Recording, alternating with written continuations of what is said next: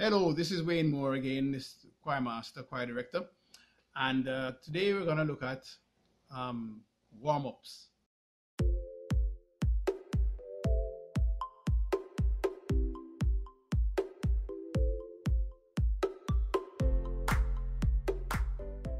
Warming up is necessary for any kind of athletic activity. And uh, singing is as athletic as they come you may see people singing and think it's just a walk in the park, but singing is a very athletic activity, involves the entire body. Some people think that the, the whole body is really the voice. You know, you have to take care of the entire person in order to take care of the voice. We know the voice is, the vocals reside here in the larynx, but the whole body has to support a mechanism to produce that voice. So the first thing we're going to do is we're going to start with stretching and I'm going to keep them simple. There's, we're not going to have a lot of different things because we just keep it simple. So stretching, upward stretching. You're going to inhale, raise your arms while you're counting and get to the, raise your arms above your head and then bring them back down while you're holding your breath and so on. So let me show you how, that, how that's done. So you're going to inhale and while you inhale, you raise your arms and you're inhaling and you're inhaling and you're inhaling and then your arms straight over your head like this and you're inhaling. Hold your breath as it gets there and then you're going to bring your arms down and keep your breath in. You're not exhaling, keeping it in, and arms come right down to the side. And while it's at your side, you still hold it, and then you exhale and release. Now, not so fast. We have to count because this is where the exercise comes in. We're gonna do it again, and this time now we're gonna count as we go up. So we count on the count of eight. So we count to the number eight. We start one, two, three, four, five, six, seven, eight, and you're inhaling at, at, that time. When you get to the top, you still have your breath in, you're not breathing out, and you're counting to eight again. One, two, three, four, five, six, seven, eight. Bring your hand back down again, still holding your breath, counting to eight. One, two, three, four, five, six, seven, eight. And the hands are by your side. Still counting eight more. One, two, three, four, five, six, seven, eight. And then you exhale. Sounds like a lot, but it, it happens in a smooth sequence. So you do everything in one go. And you're counting in your mind. You can't physically count because then you're going to lose your breath. So you inhale up, hold, come back down, still holding. Relax your hands at the side, still holding, and then you exhale. And you will notice when you inhale and you're up at this position, you will have filled your lungs. And because you have raised your arms, the lungs are filled a little more than they normally would if your arms are by your side. So when you bring your arms back down, you can feel that sense of fullness across your chest and so on. You feel that uprightness and that kind of buoyant stand, as I call it, buoyant stance. And uh, when you're when you have finished and you're exhaling, you must keep your chest up and allow the exhale to take place from your abdomen. So when you breathe out, the abdomen comes in. That way the chest maintain, maintains its upward stance. You don't want your chest to collapse like this. Keep it up, okay? All right, so that is how it's done. And it's eight counts up and down. And what you do is each time you repeat this exercise, you try to add two counts. So you go from 8 to 10 to 12 to 14 and up to whatever you can manage depending on you, the person, or the group that you're coaching and so on. And uh, that's a good way to wake up the body. All right. Uh, next, we can do an exhale now on a sound of TSS. That sound. So you're going to inhale and then you exhale. But while you're doing that now, you're counting and you start by counting to 10 and then when you get to 10, all the air must be out. You should start, let's say start here, and by the time the hand gets to 10 there, there should be no more breath left to push out. So you're going to deliberately try to dump all the air out by the time you get to 10. Now, uh, you extend that. So you start at 10, and then 12, 14, 16, etc. And that will be how you create that exercise for yourself because you're managing your breath at extended intervals. So you allow it to exhale completely at 8. So you go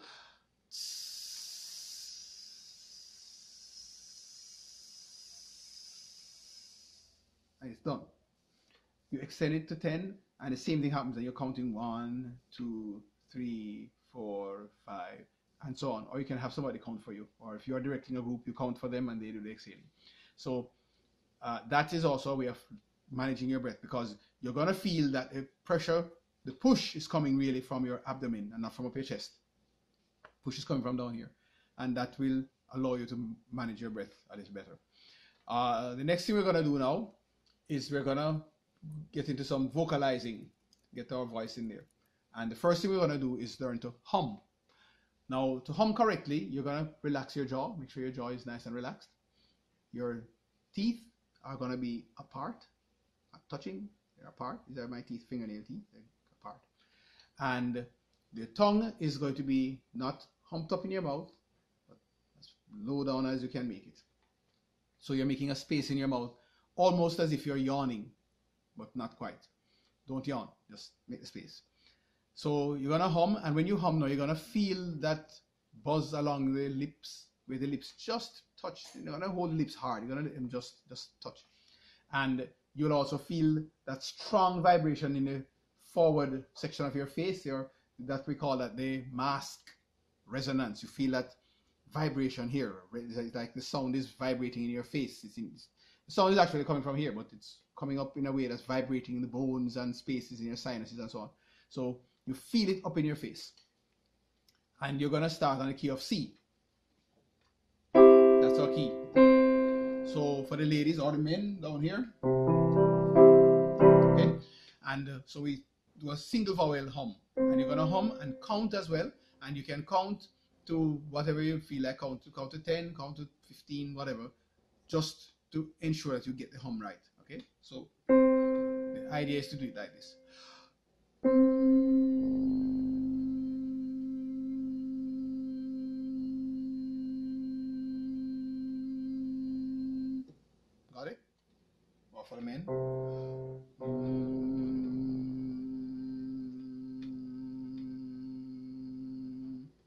Basically that's that's the idea of it. And then you're gonna move from C to D to E. Keep going up here. Right?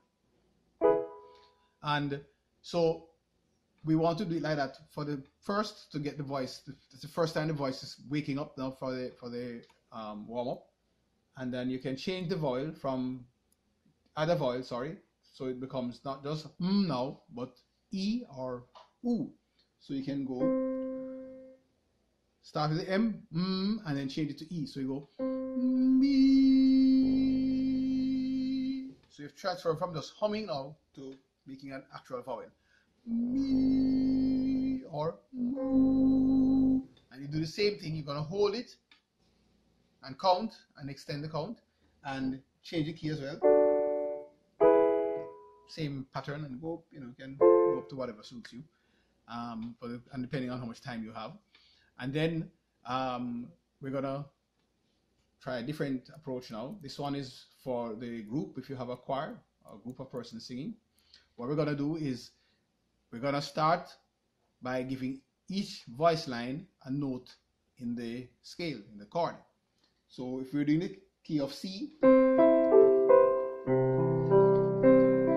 the key. So we assign this note to the basses, maybe this note to the tenors, altos, and sopranos would get, say that note for example. So it sounds like this. Okay?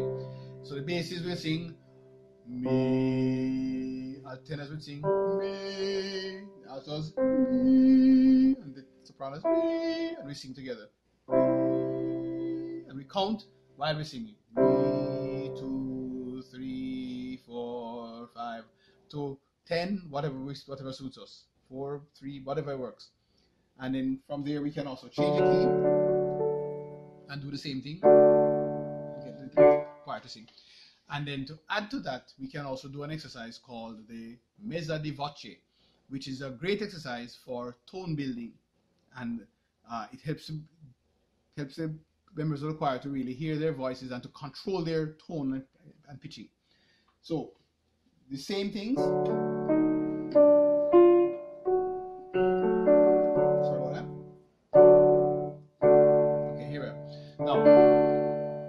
Time you're going to start softly and then you grow. So it starts soft, maybe maybe at let, uh, at um, volume level P, piano, and then you, as you hold the sound, it gets louder and louder and louder until it gets to a peak, and then it gets softer and softer and softer.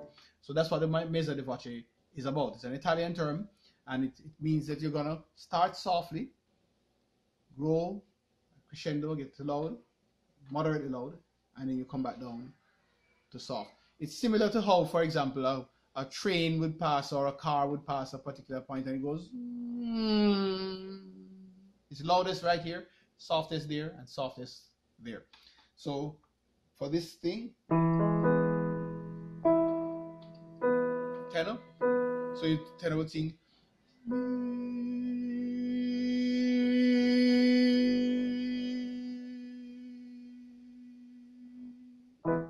Except that it should be a full chord because the whole choir is singing. It would be just one um, one line. You'd probably have you have the whole line singing, right? The whole choir singing. Sorry, and uh, and those ex exercises will work. And the important thing is to make sure that while you're doing the exercise, these vocalizes, that you still maintain that facial resonance.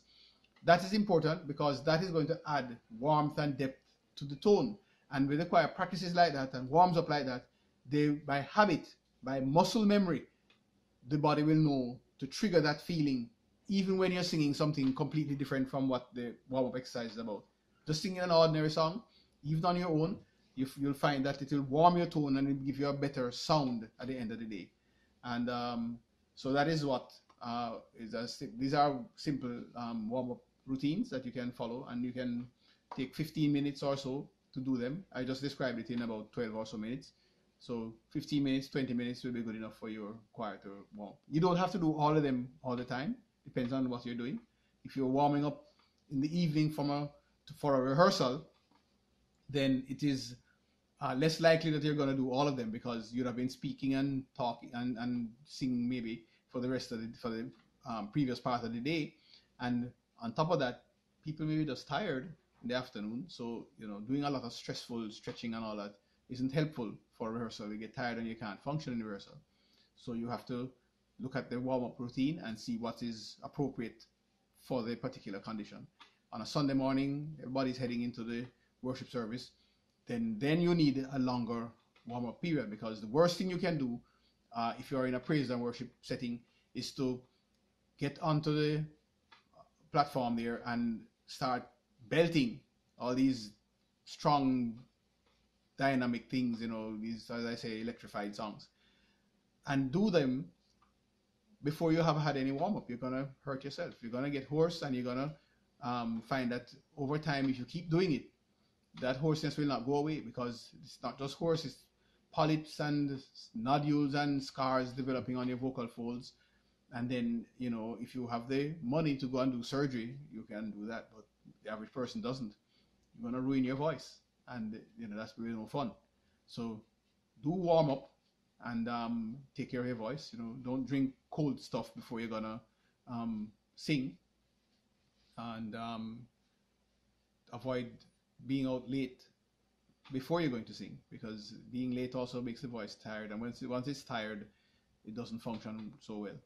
You know, if you have to take care of your voice. Um, we'll do, I'll do another video about taking care of your voice, but um, just be, be sure that you don't stress your voice and then go and sing. That, that, that isn't going to work. And don't just get up and just start to sing stressful songs. Okay? All right, that's it.